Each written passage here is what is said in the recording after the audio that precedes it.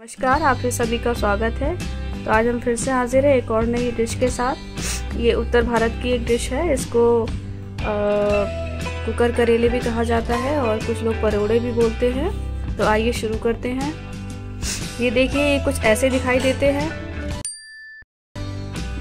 इनका साइज़ बहुत ही छोटा होता है। हम इसको छील के ऐसे कर साफ़ करके ऐसे काट के रख लेते हैं। इसके बाद हम मसाले ले लेते हैं।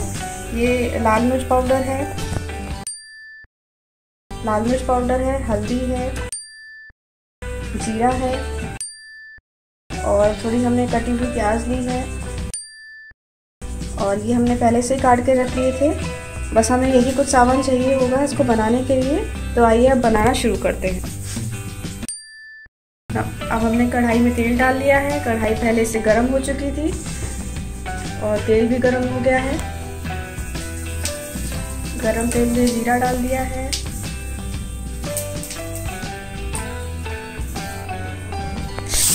प्याज डाल दिया है अब। इसको हल्का ब्राउन होने तक हम चलाएँगे और प्याज को भून लेंगे।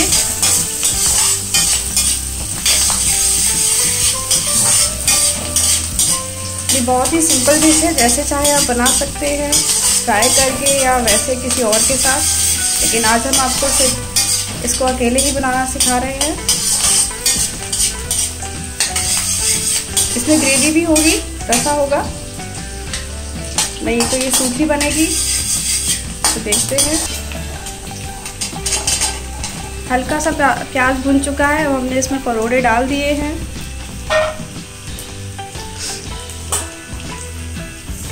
आज हमने मसाले को नहीं भुना, हम ऊपर से मसाले देखिए, थोड़े से फ्राई हो गए, अब इसमें हम हल्दी डाल देंगे।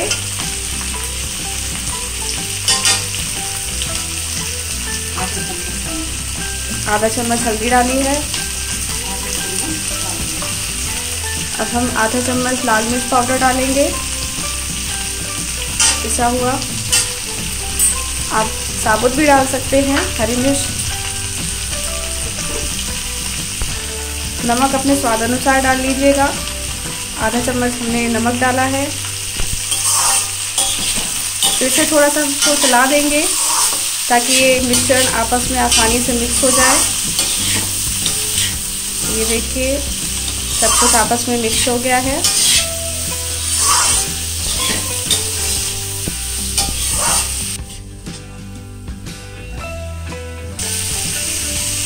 एक बात का हमें ध्यान रखना है कि हमें इसमें पानी बिल्कुल नहीं डालना है, क्योंकि हमें इसका पानी जो है ऑलरेडी जो नेचुरल पानी है, उसको थोड़ा सा सुखाना है।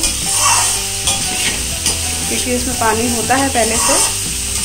तो ऐसे ही इसको फ्राई करते रहेंगे। ये काफ़ी फ्राई हो चुकी है, अब हम इसको ढक के रख देते हैं। ध्यान रखिएगा, हमने पानी बिल्कुल नहीं डाला है। देखिए, अब इसको ढक देते हैं और मध्यम आँच पे इसको बनने देते हैं।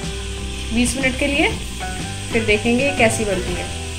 15 मिनट हो चुके हैं, लगभग 15 मिनट हो चुके हैं। अब हम इसको हटा के देखते हैं। ये देखिए।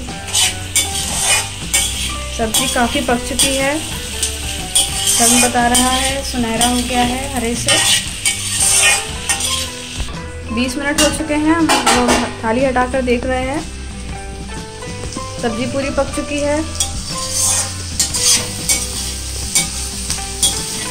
थाली हटाकर हम इसको दोबारा से खुले में चटकाएँगे, जिससे इसका पानी जो भी और होगा वो दोबारा पूरी तरीके से उड़ जाएगा।